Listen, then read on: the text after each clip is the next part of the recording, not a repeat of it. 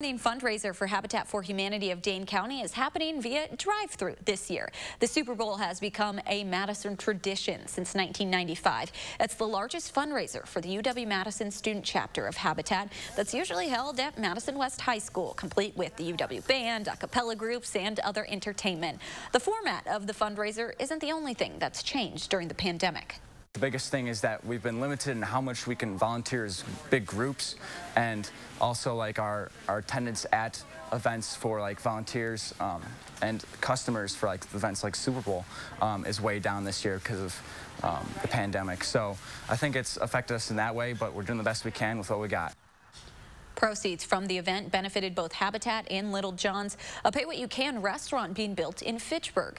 200 people pre-registered for the event, and organizers hope to have a higher turnout from walk-ups today as well.